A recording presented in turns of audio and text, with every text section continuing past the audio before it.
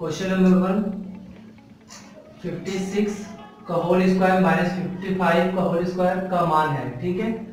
छप्पन का square minus पचपन का स्क्वायर का मान बता रहा है तो इसको सॉल्व करने के लिए हम क्या करेंगे? यहाँ पे फॉर्मूला यूज़ कर देंगे। कौन सा? A square minus B square ठीक है? क्या हो जाएगा? एक कोष्टक में ए प्लस बी दूसरे कोष्टक में ए माइनस बी ठीक? इसको ए मान दे, इसको बी ठीक है? तो यहाँ पे ए मेरा कितना है? छप्पन, ठीक है? और बी मेरा कितना है? पचपन। ठीक है रख दिए और फिर यहाँ पे ए मेरा कितना है? छप्पन। और बी मेरा कितना है? पचपन। ठीक? इसको जोड़ दें। छह, पाँच कितना हो जाएगा ग्यारह के एक। हाथ लगा एक पाँच पाँच, दस, एक एक, ग्यारह। ठीक? एक सौ ग्यारह गुड़े और यहाँ छप्पन में से पचपन जाएगा कितना? एक। और गुणा कर देंगे, कितना आ जाएगा? एक सौ ग्यारह। ये आंसर हो जाएगा आपका। सेकेंड जो क्वेश्चन नंबर टू है 65 का होल स्क्वायर माइनस 64 का होल स्क्वायर प्लस वन का स्क्वायर। इसमें भी हम वही प्रोसेस करेंगे। इसको A square minus B square ले लेंगे, ठीक है?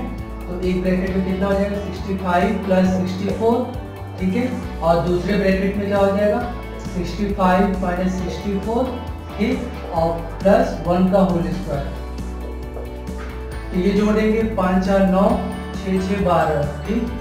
एक सौ उनतीस और 65 में 64 जाएगा, कितना? वन ठीक प्लस वन का स्क्वायर वन ही हो जाएगा।